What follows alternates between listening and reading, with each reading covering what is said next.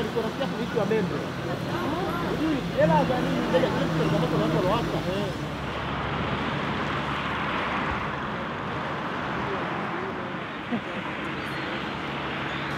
Ama penseni ya Edogo. So you have to, when you edit, you have to remove some parts. We really like to see people from other countries coming in our country because we can share ideas as the way I'm doing, eh? Yeah. Yeah, and we can become friends. We really thank you people coming here because you even contribute our social things.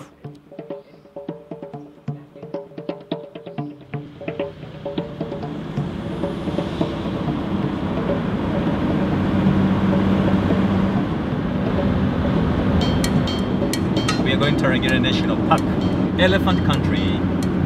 Very nice park.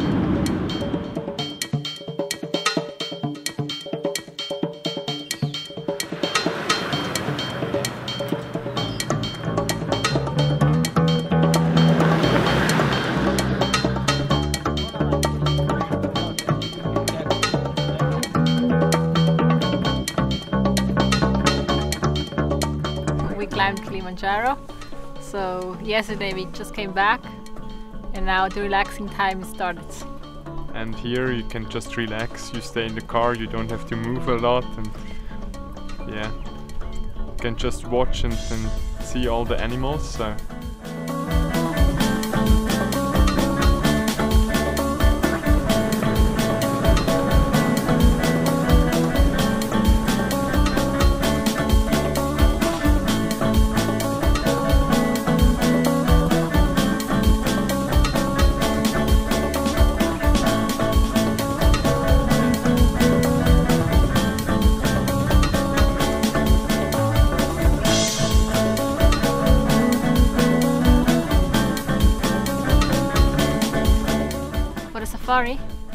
think it's um, $1,600 each. But it is okay because we know that the, the, the staff they get a higher salary than with other companies. So that was really important for us.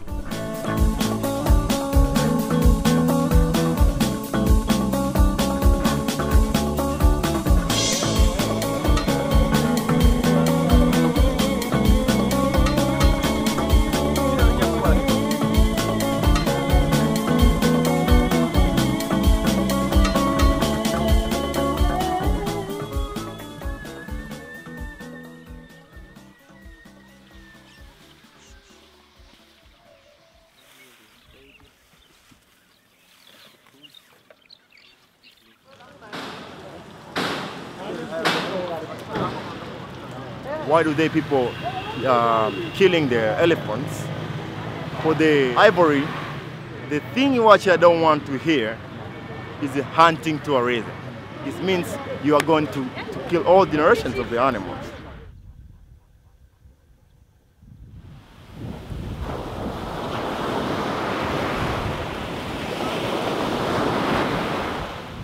So when I was collecting plastic bottles, so people are saying, ah, Ame- our friend Amer now is crazy. He's totally crazy. He's clothing something that is dirty, is useless at the beach. You know, local people is like we think that everything that you are you have to do, you need to get payment. I was feeling shy, running like walking at the beach, collecting plastic bottles. So when I'm seeing my fellow local people, I'm just hiding myself, like I don't want to be seen. But then I say it's okay. Whatever case happen, I'm going to do it.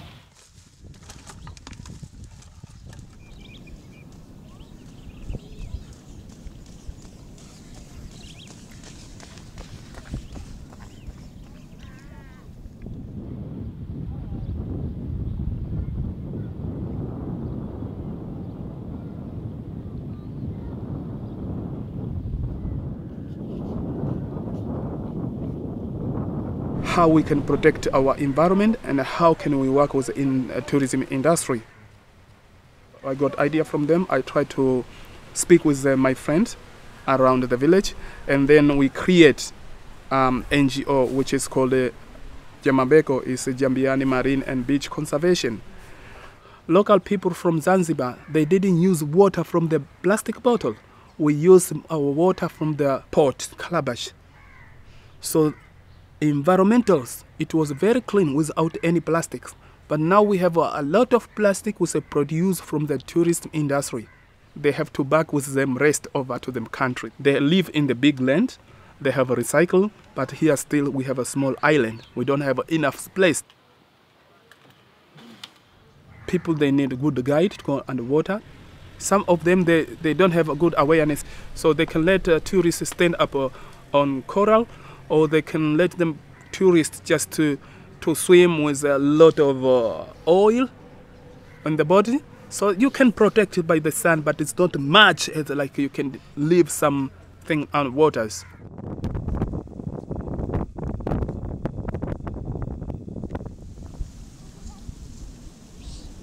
Now, almost all the coast is run by foreign or investor. They didn't respect the law that they have to live at least 15 or 20 meter from the coastal zone to have a free zone area. So now we don't have a free zone area for resting. Maybe when it's low tide they can come more, but when it's high tide, until when you have a permission from the, someone from the hotel. It's just only area it's like here. The owner are local people. There were many, many natural coastal marine trees. They cut all of them. When they built a hotel on rock, they need sand, and they come down to take sand. When they take sand, it means that they start to make more erosion. When they are in them countries, they make a good respect for the environment. But when they are here in Africa, they forgot and they just destroy it.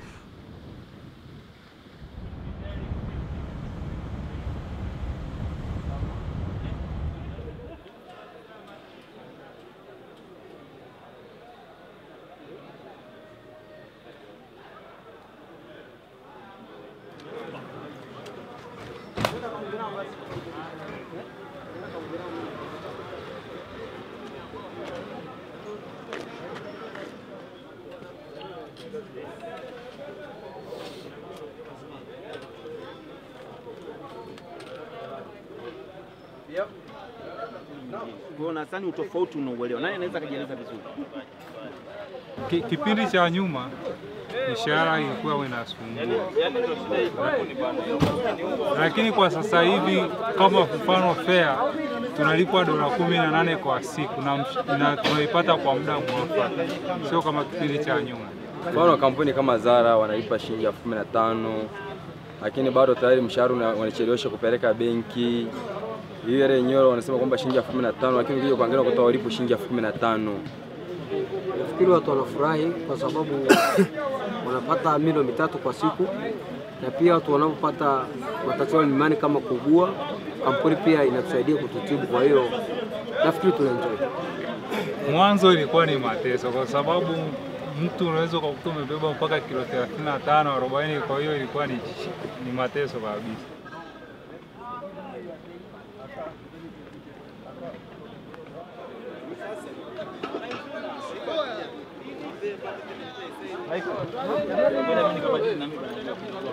They have like their day pack with their own stuff, which weighs around five kilograms, and then they have like the, the luggage to carry up, which is 20 kilograms. So they're carrying around all day 25 kilograms, which is quite a lot. And we know also the porters, they had enough food. We heard before that like with some companies, sometimes they didn't have enough food because they didn't want to pay that much porters to reduce the price. Another issue is tip dependency because if you come as a visitor and you're going to have a relationship with the people that's going to host you or work for you, it's better to have that relationship balanced. If somebody is depending on your money for tips, then already you have an imbalanced relationship between the two people. So tip dependency can actually change behavior and local culture Can make people pretend to laugh at your joke even if it wasn't funny, just because of the money they depend on you. Of course, if you don't pay those tips, then the staff get less salary, so you get a better price at the end, but that means that the people who worked for you did not get enough money from that.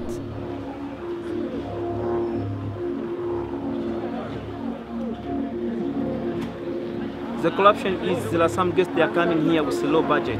So there are some people who want their money for their own pocket. They just take them and then they just less salary for the porters. The porters are just spending on tip and overloaded the porters. and are uh, often uh, left without any other choice if they refuse to take the work. They don't have other job opportunities, and because of their desperation for money, they become easily target for exploitation by the companies who prefer to maximize their own profits rather than pay fair salaries. So these companies who exploit people also know that it's better to keep a nice front with happy, friendly people. It's not obvious what is happening behind the scenes. For example, a lot of porters are not allowed to interact with the customers. There's always the guide in between to make sure that the porters stay to their own and the, uh, the climbers are kind of uh, kept in the illusion that everything is fine. Also, they can grab it for the tour and then they just give it back. titanium bolts in, you need to have it fixed. Yeah. We wanted to go only with a Tanzanian company because we wanted that our money stays here and doesn't go back to England or to America. I think as a tourist, you should more think about what you're doing and what you're paying for. Because if you buy like a mobile phone, you spend like hundreds of dollars and you don't think about it. And if you go traveling, you, you just look at the price and, and want to go as cheap as possible.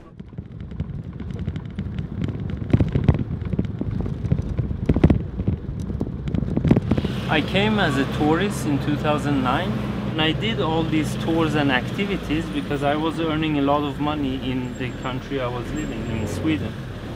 I'm paying a lot of money and still the companies are not paying enough salary to their staff so that they're asking me as a customer for tips. In Sweden, tip is very uh, voluntarily. It's something you add extra if you really want to. So for me, it was strange why in 2010 or in these modern times, why should it be different anywhere else? So when I climbed Kilimanjaro, I realized also that me trying to get a better price also meant that the people involved were being exploited. If I don't do it, why would anyone else do it? So that triggered me to start fair travel.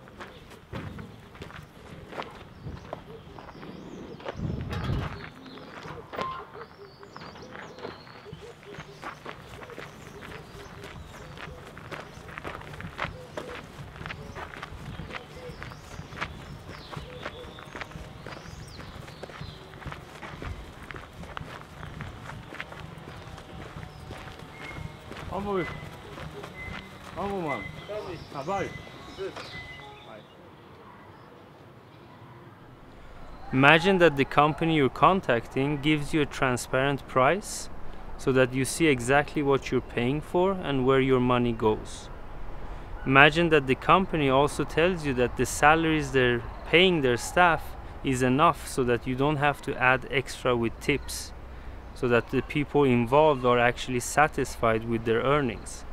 Then imagine that the same trip generates some money profits for the organization you have chosen and that those money goes into reforestation, into protection of nature, into benefit of local communities who conserve their environments. So this is what fair travel is. We create a travel experience which both benefit the guests, the staff and the environment that we all depend on.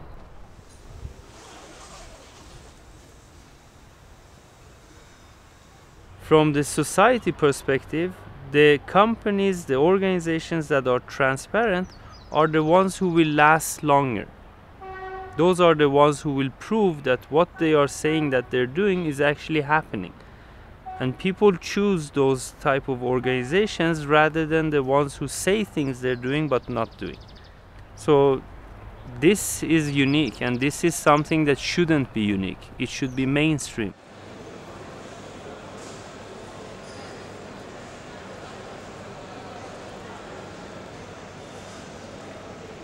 we get something like 700,000 to a million visitors per year, and this stands for 25 to 30 percent of the economy. I would say many of the local people here are disconnected from the tourism economy. The tourism economy is there, it's a bulk amount of money, but few people have access to it because of their opportunity, their education, or their investment capital many people even don't know how do I get involved in the tourism economy.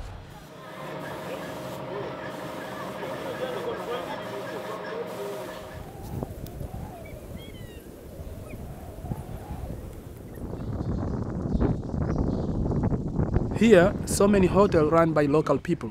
They are not good for marketings. Tourists, they go direct to the resort, big resort, which is run by foreign peoples. So that is why here in front of our village, you can see that we don't have uh, so many tourists. Every hotel, now they have a desk inside for their tours. They have gift shop. If they don't have uh, any shop, it means that they can come out and buy from the local people. But now they do everything inside the hotel. But also, uh, local people or community, they are not benefit according to the salary how you can survive for $70 for one month here. People they get salary, they benefit, but it's not big benefits that they can have, money to save for the next month.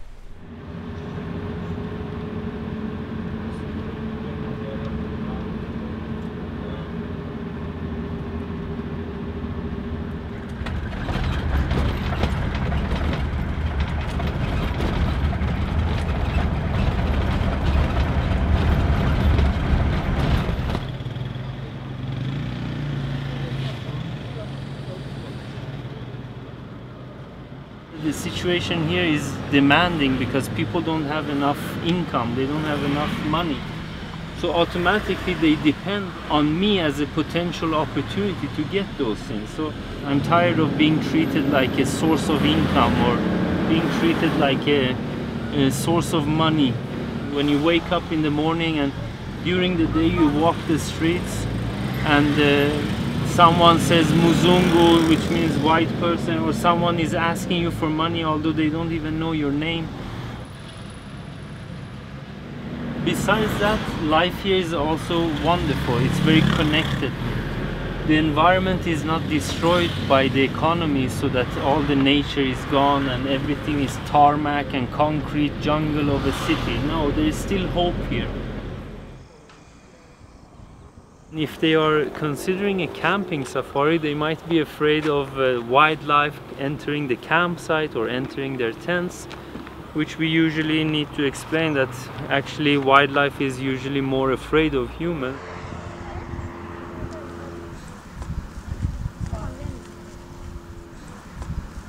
Once you come to Tanzania, you're actually coming back to the roots of where you once left where our grandparents once left and migrated from this continent. So the amazing thing is that today we can come back with an airplane, with a flight, which takes maybe half a day, whereas it took us hundreds of thousands of years to leave this continent on foot previously. But in reality, it's all the same people, and here you can see how similar people really are, even if they are behaving differently. So I think majority of people are nice people who really would want the world to be a better place, who want people to benefit, who want the environment to be safe and protected.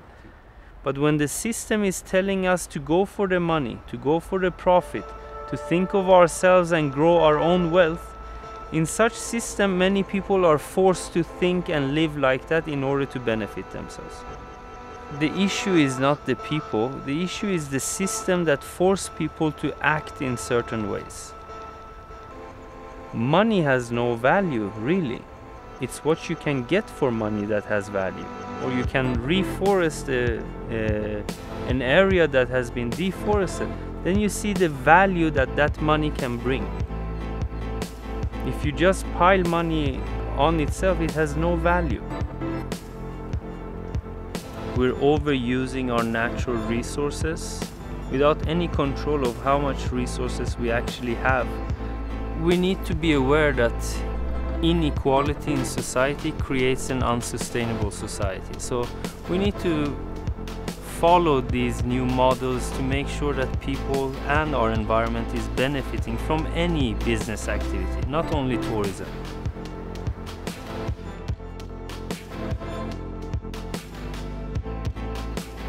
Tourism is quite a new phenomenon globally. It's only a couple of decades where we have had this opportunity to travel anywhere on the planet within 24 hours. And this comes with a responsibility because our minds are becoming so much more open through tourism today that it also allows us to find solutions and better ways of conducting that tourism.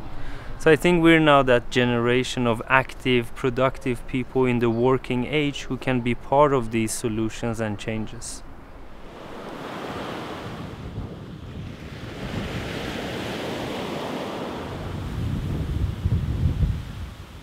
natural resort will be left and people they will come to visit because when they visit the country tourists they would like to visit uh,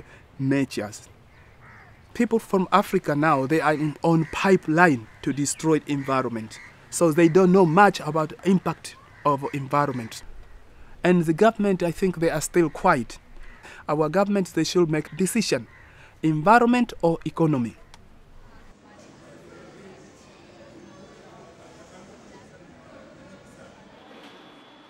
people from America and the place where I told they should educate as Europe or other countries they protect environment because they already got results of destroyed environments.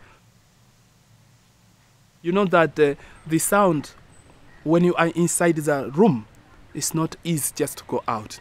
But the sound of somebody who are outside the room is it to throw. So people who try to supply awareness in Zanzibar, we are like we are inside the room but people from outside they are outside outside the room. So when they shout or they sound things it can go. And then i think we can improve